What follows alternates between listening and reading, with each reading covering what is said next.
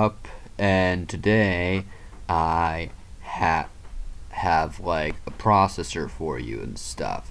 This is like not a Minecraft. If you viewed any of my other videos and stuff, you might think I'm like some sort of like Minecraft like person. No, I'm not.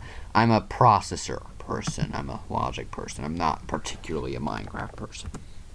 Anyway, so as for this, okay, number one, the tool this um, tool I'm using to create all the simulation and stuff is called Logicly and you can view like the website on Chrome. It's called logic.ly mean I can go there if you want but that would waste time. I only have 10 minutes since my recorder. Anyway so the tool is called Logicly. Um, basically it allows you to simulate um, circuits using uh, all of the logic gates. If you are watching this video, then you should know what logic gates are. Okay, I'm not going to explain that. Maybe in another video or something, I'm going to use this tool to explain the basics of circuits and stuff. But uh, no, no, I'm not going to. Too little time. Or, yeah, I guess I said that right. I don't know. Uh, I'm not grammar. Anyway. So yeah, the tool is called Logicly. It's a really good tool. You get a 30 day free trial. Although don't do the web browser version because if you do do that, then um, it will delete all of your progress if you close your tab. And my sister closed mine because she was pissy at me and I lost a lot of stuff. So yeah, don't don't rely on that. Or you could just lose your internet connection. uh, we had a storm yesterday, like a little tornado that ripped up the house and stuff, and also caused a power outage. And I, yeah, enough about me. So anyway, so about this thing sitting in front of you here. Yes, this is what you came to this video for. So this is a processor, and more than that, it is a 4-bit processor. So this is the ALU, the Arithmetic Logic Unit, Basically, it does the math for the computer.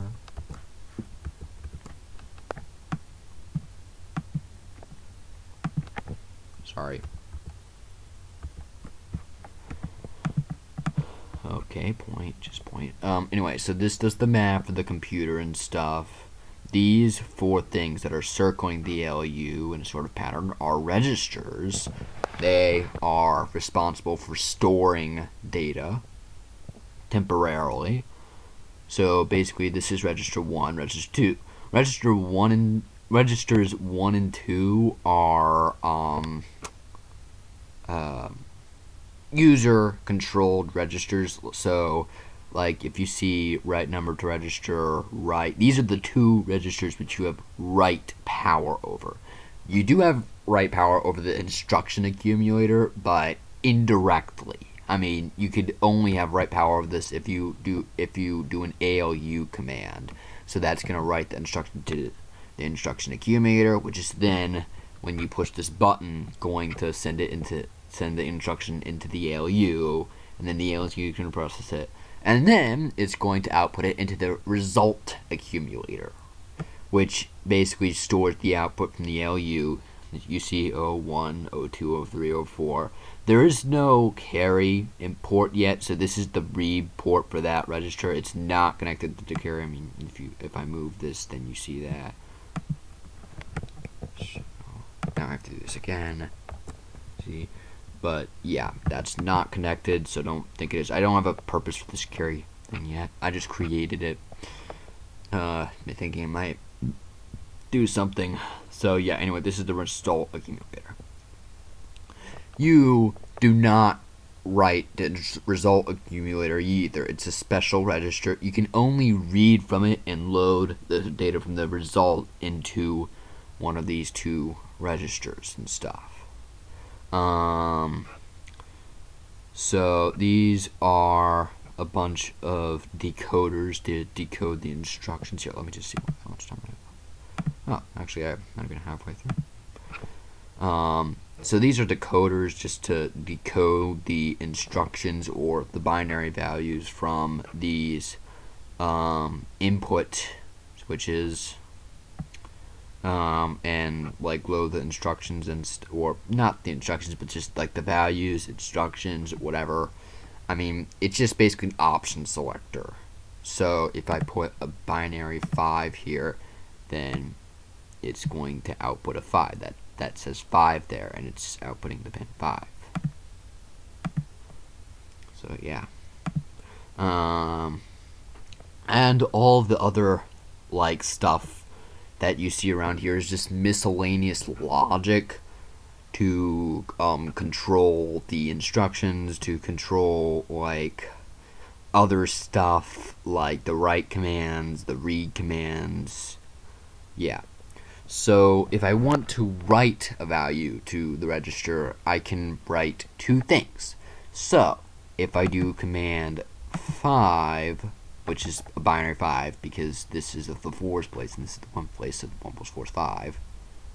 Um, so if I do that, then I would write a number to the register.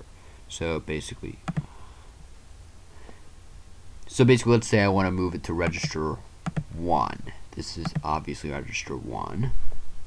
And I put something in here. Then that's going to move a 1 to register 1. This is going to be a 3. This is going to be a 2, 0, whatever. And if I push this button, then the contents of register 1 are now 0. Let's do a bit more exciting. Let's put it as 1. So now I'm going to load it again. Push this few times. And then it should have a 1 in there. And it already does. So now instruction 0 is to read register 1. So if I execute that, then you'll see it has an output of 1. So yeah, that's how to move that register and like uh, values into registers. You can also move values from other registers into other registers, like the result accumulator. So if I wanted to move the value from register 1 to register 2, then I could do that. I would execute that.